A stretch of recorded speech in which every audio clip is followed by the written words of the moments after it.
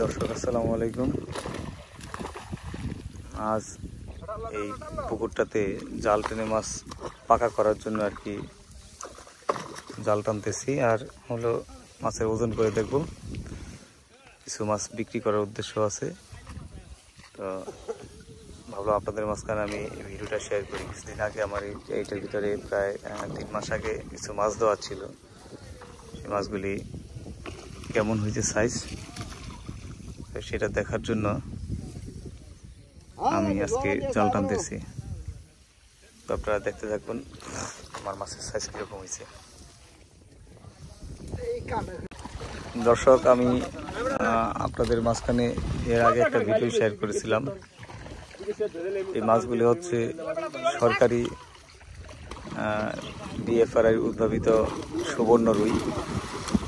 আমাদের বাংলাদেশের জাতির জনক বঙ্গবন্ধু শেখ মুজিবুরের পঞ্চাশ বছর পূর্তি উপলক্ষে তারা এই মাছগুলিকে এই বছরই তারা এই যাত্রাকে উন্মুক্ত করছে জনগণের উদ্দেশ্যে চাষিদের উদ্দেশ্যে। তো সেই মাছগুলি আপনাদেরকে দেখাবো। মূলত সেটা হচ্ছে রুই মাছ। আর এখানে বিভিন্ন সাইজের মাছ আছে। মানে কাতলা আছে কাতলাগুলি যদি আমাদের দেশীয় নদীর কাতলা আর রুইগুলি হচ্ছে বিএফআরআই সুবর্ণ জাতের রুই, যেগুলির কালারটা একটু লালচে ধরনের হয়। ইনব্রিডিং যে একটা ব্যাপার থাকে, সেটা ইনব্রিডিং মুক্ত মাছ যেটাকে বলে আর কি। সেই মাছ তারা বিভিন্ন জেনেটিক প্রসেসের মাধ্যমে তারা এই মাছগুলিকে উদ্ভাবন করছে। এই নতুন জাতটা উন্নয়ন করছে। আপনারা আমার জন্য দোয়া করবেন। আর আপনারা দেখুন যে কীরকম কালারটা হয়েছে। আসলে কি ওটা সুবর্ণ জাতের হয় কিনা এবং কালারটা সেই লালচে ধরনের হয় কিনা, এটা দেখানোর জন্যই আপনাদের স্থানে ভিডিওটা তুলে ধরা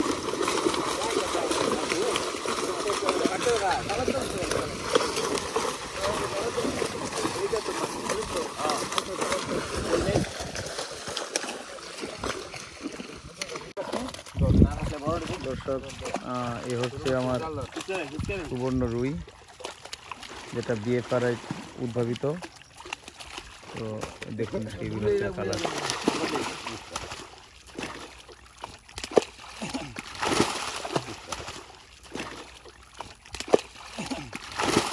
কাতলা মাছটা ভালো দেন দিদি ধরো কাতলা মাছ ধরো